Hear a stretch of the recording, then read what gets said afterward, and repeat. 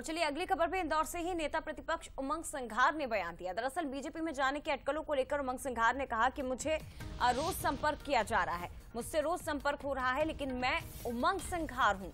सिंधिया नहीं, कांग्रेस नेताओं के पार्टी छोड़ने पर भी नेता प्रतिपक्ष ने निशाना साधा और ये कहा कि मौसम बदलता रहता है। पतझड़ के बाद में नई कोपले भी आती हैं। कोई सत्ता के लालच में पार्टी छोड़ रहा है तो कोई मजबूरी में। क्या कुछ कहा है? नेता प्रतिपक्ष उमंग सिंघार ने आप भी सुनिए।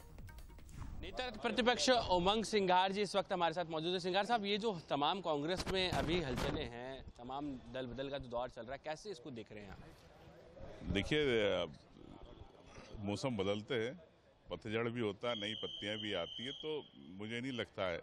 अब किसी क्यों जा रहा है? कोई अपनी सत्ता के लालच में जा रहा है? कोई मजबूरियों में जा रहा है?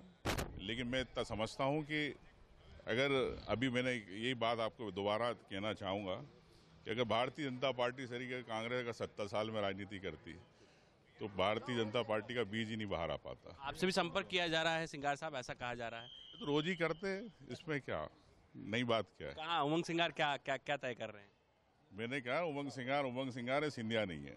यहाँ पर सीधे तौर पर उमंग सिंगार जी हैं और साफ़ तौर पर कह रहे हैं कि उमंग सिंगार उमंग सिंगार है, सिंधिया नहीं है और साफ़ तौर पर जिस तरीके से कांग्रेस में पतझड़ का मौसम जारी है, उस बीच में नेता प्रतिपक्ष उमंग सिंगार फ़िलहाल ये दावा करते नज़र आ कि वो तो फ़िलहाल कांग्रेस में हैं। हालाँकि चुनौतियाँ कांग्रेस के लिए अभी भी कम नहीं हुई है। नरेंद्र गोस्वामी के साथ पीयूष पारे बंसल न्यूज़, इंदौर।